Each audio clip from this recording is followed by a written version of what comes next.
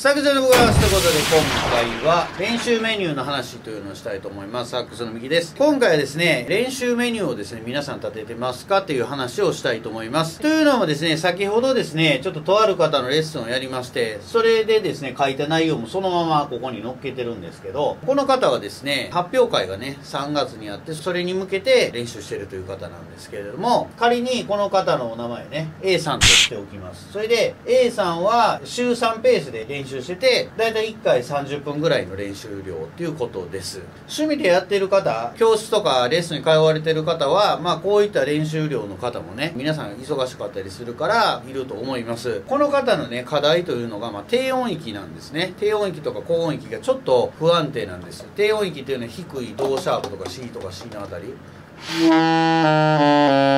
の低いとことか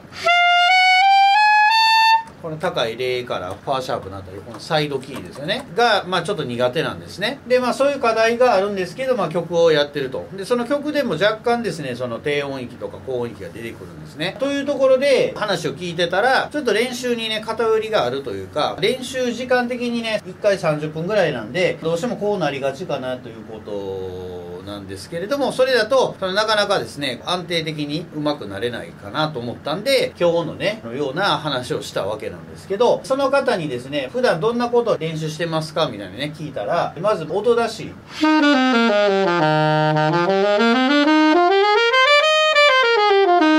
こういった音出しですね。ほんまに楽器持った時にやるんですね。でやってから、えー、ロングトーンをやって曲をやってると。いうことです。でロングトーンはまあレッスンでね提供している。ロングトーンの楽譜があるんでそれを多分やってるということだと思います。それでその発表会でやる曲を練習してるとこういう感じなんですよね。これだとですねロングトーンやらない人がね多いのは僕もよく分かってるんですけど、まあ、やってるだけいいんですけれどもやっぱりちょっと偏りがあるというかどうしても時間ない中でやってるからしゃあないかもしれないんですけどもうちょっとね基礎に時間割いた方がいいかなと思いました。それでこっちの方をね見ていただきましたらこれですね僕がレッスンをね30分やる場合の、まあ、大体のメニューですね、まあ、60分やる場合もやる内容はこういう感じです、まあ、大体ね最初音出ししてもらってでロングトーンやってででタンギング練習してで FT っていうのはこれフィンガートレーニング指練習のことです。サックスっていろんな指使いがあってそれを段階的にですねその人の実力とかやってる曲に合わせて簡単な指練習をやると。それで指をマスターしていくみたいにしてます。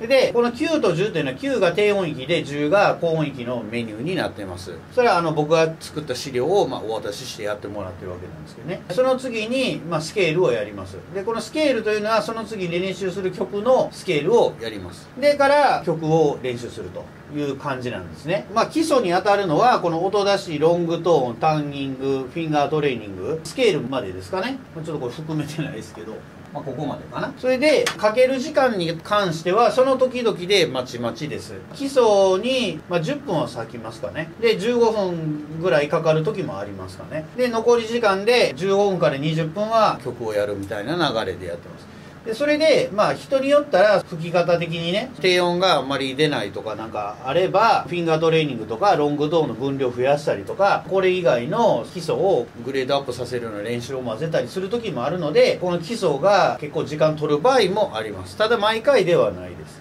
で曲は少しでも毎回ねちょっとできるようにして、まあ、進んでいくっていう流れでやってます。これ見たらですね、まあ、ほとんど曲しか吹いてないって方もねこの視聴者の方におられると思うんですけど長い目で見たらねやっぱどうしても壁にぶち当たってくるんですよね、まあ、当然その曲を吹いてる方が楽しいというのは分かってます。僕もそれはそうでしたからなんですけれどもやっぱ上達していくとですねずっと続けていくと頭打ちしてくるんですよね。頭打ちしてくるからどうしてもね基礎は外せないんですよ。最低これぐらいの量っていうのはやっぱやってほしいんですよね。ただ時間は皆さん知ってるように有限ですからじゃあその中でどうするかっていうとですね練習メニューを自分なりに考えていくっていうのが大事になります。こちらにですねこの A さんにですねレッスンのね流れを踏まえてまあ基本的にはやってもらったらいいけどレッスンみたいにがっつり基礎をやる時間がないのもまあ分かりますからということでじゃあちょっとここで工夫入れたらいいんじゃないですかっていう提案をしてみました。どういう提案かというと、まあ、音出しロングトーンね、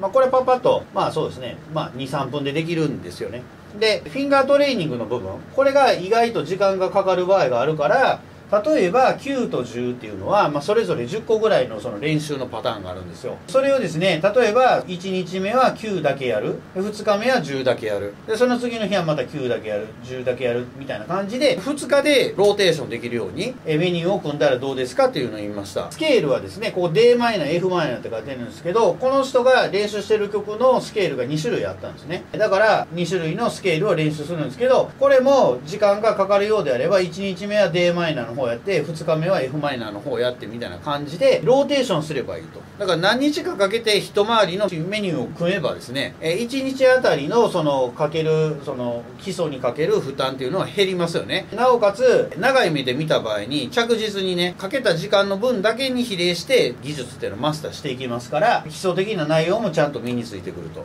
いうことをやれば10分ぐらいで収まるんじゃないかと。で残りの、まあ、この方は30分の1回30分の練習時間ということですから残り20分が曲に避けるんじゃないですかっていうことを提案してみました。こうやって書くとそれはそうやろうと思うんですけど僕もそうですけどやっぱ大体で感覚でなんとなくやってるとどうしてもねさっき言ったような最初に言ったような偏りが出るんですよね。だからその辺はこうやって自分が例えば習ってるレッスンのね先生がいてその先生のレッスンの進め方みたいのを書き出してみたらいいと思うんですよ。じゃあそのレッスンの内容には何らかの意図があるはずです。結構ねそれだけで発見もあったりするし基本的にはそのレッスンの内容で練習するのがいいと思います。ただ先生によったらね基礎は飛ばしてもう曲ばっかしてやるっていう人もいると思いますからそういう場合は基礎練はどんなことやったらいいですか？ってその先生に質問してみればいいと思います。じゃあこうやってこうやってこうやってこういうふうにやったらいいんちゃうかっていうアドバイスが何らかもらえると思いますからそういうことを参考にしてですね、まあ、メモっといてね。で自分なりにメニューを自分の持ち時間と照らし合わせて考えてみたらいいと思います。どうしてもですねまあ特に学生の方も社会人の方もなんやかんやね忙しいと思います。勉強とかねお仕事とか。でその中でやっぱりサックスが上手くなりたいっていうね。